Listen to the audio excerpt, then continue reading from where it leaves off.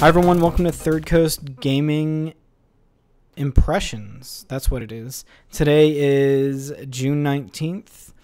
It is episode what is this? 26, 36? It's one of those numbers. It's- it's I'm with Austin 30s. Taylor. It's at we're in the 30s. Yeah, We're putting some work in. We're talking the games. We're having fun. that's me, by the way. I'm It's a Austin time. Taylor. Yes, hello, and I'm Travis Doyle. How's it going? Uh, we both played some games. I was gonna, I, I Red Dead had an online update, and it's less than fine, Mm. but I still have time to play the other stuff that came out. But it's mostly like this is like their summer update, I guess. They don't have like a regular update schedule. They had it when the game originally came out, they would put out more updates, but it's kind of petered off and they do updates like twice a year maybe. Yeah. Even that. I think the last one was in December when there was I was playing in December. That's right. We talked about it. They had like a battle pass they put out. Um, I might have missed one of the battle passes between it, but this is their criminal capitale update, which I'll get into. I just have to look up the. I didn't write down the. It's called Blood Money, and it's Yeah. mostly like criminal organization and like getting into weird crime capers and stuff. And eh, eh, Eh, uh, eh. really? I'll kind of yeah. the, the um, game where you are a, a criminal cowboy and it's eh? Yeah, so I'll get into what the setup of this is. You boot up the game and it'll have you. It'll get you into a cutscene where you're talking to a guy and he's like, "Hey, we got a bunch of criminals around here and they want um, you to do jobs with them." And then you come back to me, the rich Italian man, who you give me the capitale, and everyone says capitale way too much, and it's the new currency in the game that they Yeah. kind of added Oh no. that you use this currency to pay to go do the fun longer missions that pay out like $150. Mm. You can also buy the Capitale with gold to go play these missions too. There's a thing with gold currency in this game, which is the second resource, which is like the paid one you can buy off of PSN, that people who've played this a lot have exorbitant amounts of gold because when this game released, people would hit the dailies in a certain way to just get like 8,000 gold. And newer players who have who only play who like have like a week's amount of time of playing or like a month or, you know, whatever, they might be using gold more often to buy the character classes or to just get other stuff and not want to use gold. So there's like this split between people who play this way too much or people who stream this who have gold because they played a lot. And then that's kind of a bummer. It's still pretty easy to get gold, and it's kind of easy to get Capitale to a certain extent. So what it makes you do is you go talk to these criminals who are there's five of them and they're kind of equally spread out on the map in certain places and they're mission givers. And they updated that as well. You have these random stranger missions which used to be in Red Dead Online that you would go to a stranger and do, but now they're all queued up in one place when you talk to a criminal or a stranger. Yeah. And then these criminals, in addition to the stranger missions, have criminal missions. That there's like eight of them right now, and there's a set. There's one where you do one mission and you're done, and then there's one of a set of three missions, and then the third one is like the bigger, grander mission, and you have a better payout. They don't pay out very well. They, when I did one of these missions, they paid out two dollars, which in the same time I could do go do a bounty and get like a hundred dollars or whatever because people you know you kind of if you're trying to make money you're not going to you're going to play this content for fun but you have to have other content you play for money which should be both Yeah. in my opinion Ideally, yeah. yeah and then during these capitale missions where you're trying to grind for this currency the only way you get it it's doesn't seem to be a guaranteed payout at the end of these single missions you have to find it off the body of someone who's like kind of like a major player in this mission. Like usually the leader of some gang you'll go to will have like one Capitale on him. To buy these uh, missions, Yeah. the easy one is like 15, the hard one's 20, and the really hard one's like 25. And they don't pay out. Like the easy one probably pays out 80. I did the medium one, it paid out like 150, and the hard one pays out like 250. And there you get like the hard one pays out like 1 gold, like 1 gold. But you can spend like 3 gold to buy like 5 Capitale or something. So it's really weird. The missions are themselves are fine. Like I enjoyed queuing up for these in the three part missions at the end of the third part Yeah. you can loot a body for like three capital which i'm just going to call it capital from now on because it's fine We probably but should. it's but it's weird how they've gated red dead has a problem where there's not a lot of content unless you're like you have these roles which you need gold to buy Yeah. and after you beat the main story missions you don't get them better story missions until you're like a bounty hunter which has really good missions. But you have to buy that for 10 gold. But you can get into gold pretty easy in the beginning of the game. But you know it's still there's these bigger you want heists. You want these big long missions with friends and you want to go do stuff. And it's like it was a the first mission was a train heist which is kind of like the red dead the Red Ben Clempson bounty i think we might have done where you you get onto the end of a train you go up you kill some people you get to the end yeah, like you fight your way up a train Yeah. to your bounty targets. There are like three. Yeah, that's what this mission like- is. Yeah. It's a it's a train thing. This is one of like five of these missions that they're going to slowly release, but it was fine. The ending it should have been, but it should have been something else. And then they also have your the pass, which came out, which we'll talk about in a bit. Did Did you have any questions about the criminals or anything? I didn't like clearly talk about. No, I mean not Okay. not currently. I don't like. I'm just kind of taking in the fact like this whole like Yeah. sort of. P- I don't want to say pyramid scheme because I don't know enough about like what an actual pyramid scheme is to identify it as such. But, like this fu- fucking like money scheme that they have going here.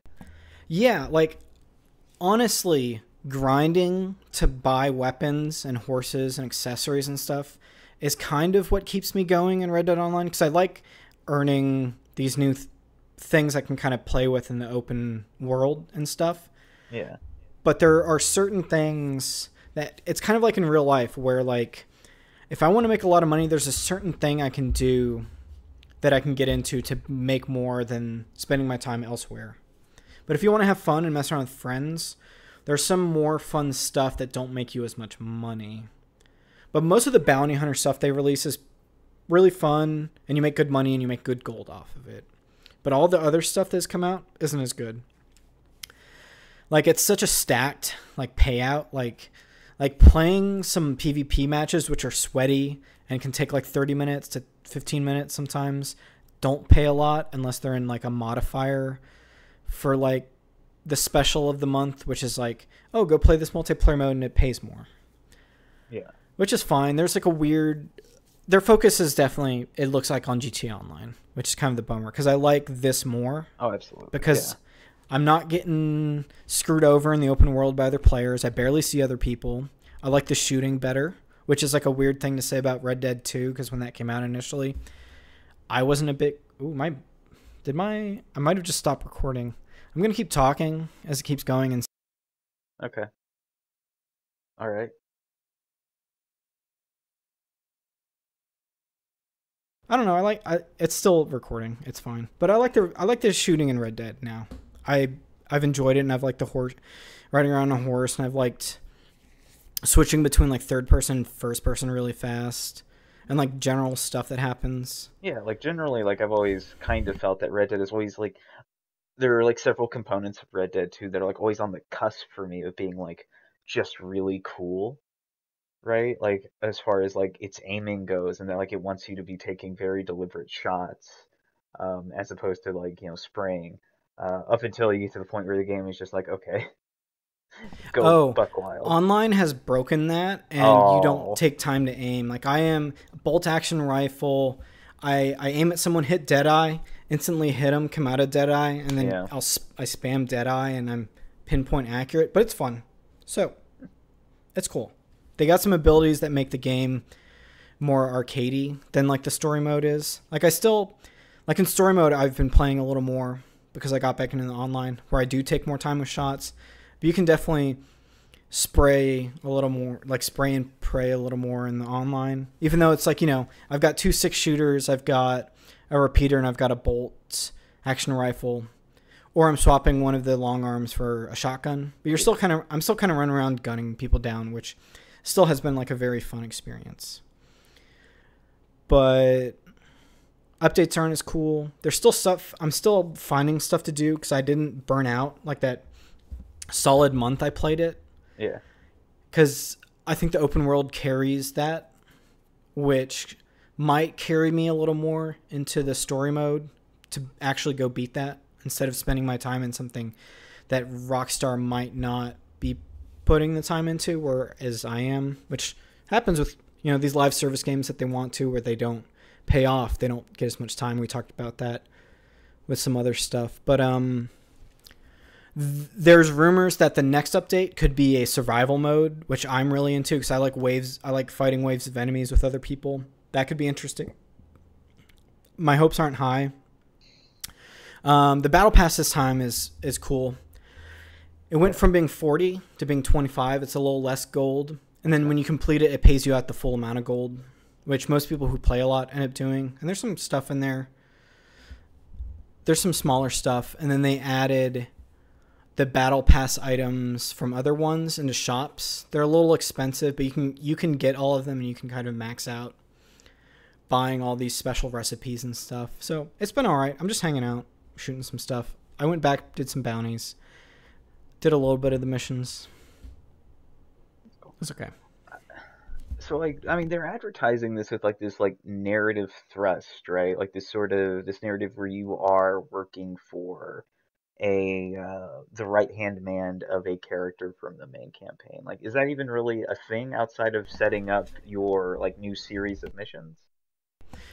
Yeah, you you meet this character when you set up the mission, and then you meet them again when you go turn in the capital to him, yeah. and he'll set up what this big heist. They want they're doing this heist. You want to go. You're you're on this train because you're stealing this emerald that's really cool, and they're gonna make money off it, but I'm not. Uh-huh. Which I guess that's capitalism. You know, the person who works really hard to get it doesn't get paid, but the person who hired me does, which is kind of this is they make a joke about that when you're working for these people but all of these missions are slightly different variations of like a regular red dead mission where one of them i went to a place cleared out some enemies but i got a different character to talk to to send me there like one one of the three part missions is there's a gang that a, music, a musician used to be a part of and the musician left the gang so i'm going to the gang first yeah. I'm hunting them down. They're kind of trying to tell me where the musician is, which is why I went there.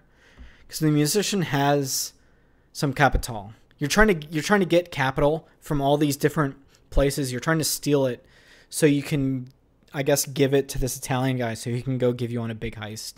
Cuz I guess you have to go fund the heist is the whole thing. Is the rationale they put behind it. But yeah, you're going you're finding different all these missions are ways of getting capital, and they kind of explain that. That's how the story is set up too. Is that you're robbing people to get money, but you're not actually making a lot of money off it. You're you're making the third currency. But the missions were cool. I have actually enjoyed some of these weird missions, and I'll probably go back and play them and check them out again. And the cinematics were good. You know, they're, the voice acting is really good. These criminals you're meeting who have the set of missions have some like unique dialogue and they have a starter mission you do for each of the one five of them that's like unique com- is one of five missions and then you have the seven other choices to select so there's there's a couple different stuff they're not amazing but they're not terrible they're just somewhere in between it's mediocre you know yeah but um let's see. Let's let's. I'm I'm I'm good on the I'm good on the Red Dead. You played some Baldur's Gate three. You also that that game got an update as well. I'm talking in t- talking in circles over here. Yeah, Sorry. That's fair. You know, it's you know, it's like it's hard to get to wrap around like your head people your head around like sort of like online things that are like constantly changing, but also seemingly not uh, in a real way. Um, and like RDO RDO is like a real enigma of a thing because you think it'd be a lot denser than it are than it is currently. Um, Yeah, and it's it's I'll, the last thing I'll say. It's pretty thin, but I'm still having fun, yeah, which may be a testament to like the campaign of that game. Yeah, just like that game this- the couple of things they give you, the couple of the bones they throw the online players. the plans of that game still turned out are kind of neat. Um, yeah, but they uh they got an update for Baldur's Gate 3. This is their their fifth patch. Uh, we talked about this a bit last week, pre-release, uh, and this got pushed back from the original Tuesday release to last Thursday. And this is mostly like a feature-heavy thing. Like we talked about the the new dice, active dice roll mechanic, where now you can, uh, when you go into a dice roll, and this is D&D. This is you know a D&D video game. Uh, when you go into a dice roll, you can have characters give you buffs if they have like spells, like the guidance cantrip, which is a a spell clerics have, where you can add a d4 to a roll, right? And like in its current version right now, you can do that on any roll if you have someone who can give that buff to you uh, during dialogue.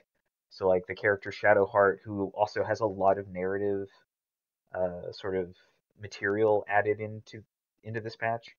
Uh, like you can use her to give you guidance, and that will give you 1d4 on every roll that you make that needs that kind of check. Even rolls you make against her, right? Like dialogue rolls, where you're trying to get her to talk about her past and such. Like you can have her give you guidance, so you have a better chance at getting her to talk about her life, which is very funny. Um, I'm pretty sure that's I'm sure that functionality is going to get like messed with and uh, ironed out to where you probably won't be able to do that. But I I, I enjoy I'm enjoying it right now. Um, and then you have other things like you have camping, which is pretty overhauled because it used to just be you have to take a long rest in D&D, right? And that's how you get back your full hit points uh, outside of guzzling down potions and food and also like spell slots for caster classes. Now you need to uh, put enough resources in to do a long rest. It's not just you select the long rest option and you get your stuff back after going to camp. It's like now you have to put in at least 40 materials with where I'm at in this current patch. And that is like all of your food stuff, your um, supplies, like some like miscel- miscellaneous like firewood, so you have like a fire going, uh, food that you can cook, which is a bit of a bummer because food in Baldur's Gate 3 used to just be uh, stuff that you can make your characters guzzle down, so you're not using up all your health potions outside of combat and that kind of thing's a little different. And then you just have a number of like new cinematics, um, new items, like new magical items. There's something I just picked up in my playthrough that was a uh, like a magical book about religions that wasn't there before. And I'm not sure exactly what part this will play in the narrative because it's not in my inventory anymore, but um, you just pick it up and it's a list of religions like that used to exist and like currently exist that like is magically updating itself um, at random points in time, and, and it's just like a it's a it's a neat little thing um, that you mess with once, and you get like an approval uh, point from Shadowheart, your cleric, if you manage to decipher it, and that's that's all well and good. It's it's mostly a features update. It's like the user experience is much smoother. They added in new voice lines for the custom like player character because right now you have to make your own character. Um, that like actually and it uses their voiceover lines for more than just like the uh, ambient dialogue as they walk around. That kind of thing's like it's interesting.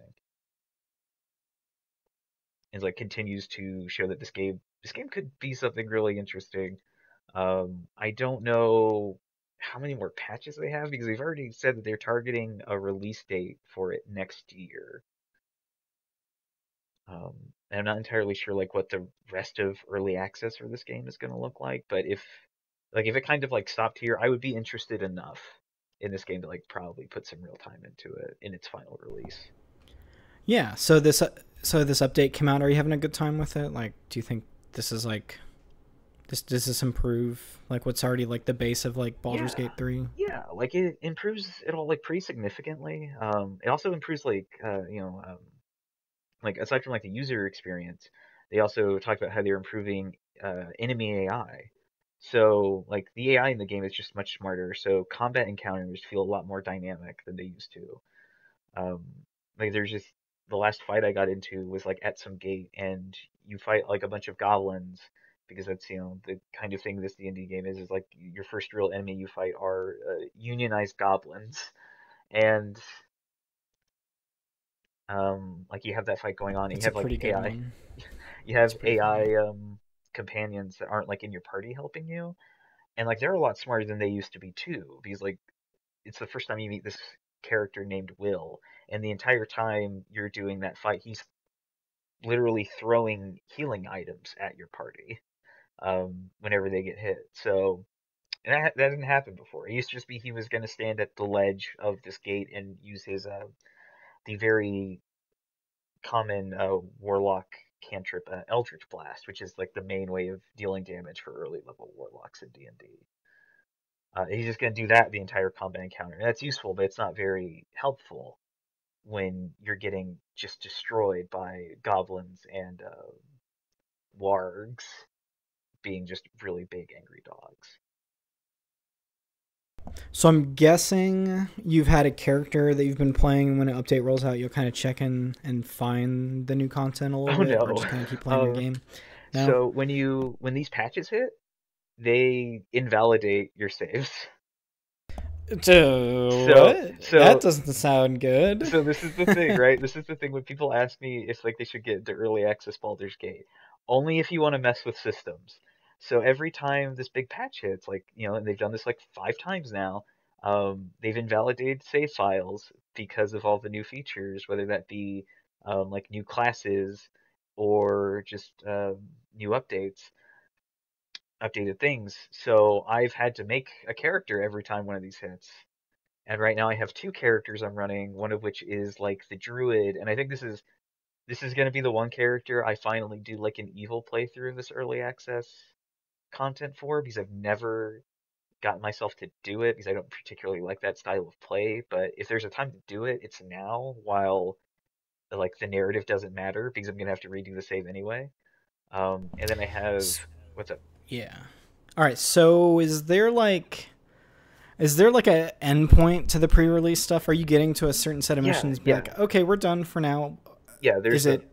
Yeah. so there's like a Is, it's a solid like 20 I- i'd say it's like a solid 20 hour like section of the game and once you get to the end of the game in the underdark which is like the within Faerun is like this sort of underground society like cave network thing where um yeah like a lot of like unique uh people live yeah. and a, Okay. And second lot of question. evil Oh, sorry. Keep going. sorry like in a lot of air quote evil people live once you get to like a certain point there you get a video message from Swen Vincke who's the you know creative director at Larian and he's like okay that's it that's it we're still making it Okay. So second question: Have these updates pushed that ending, or is it still the same amount of I gameplay but with new systems in between that twenty hours? I don't think it's pushed because I've only gotten there once, right? I don't think it's pushed the narrative content at all.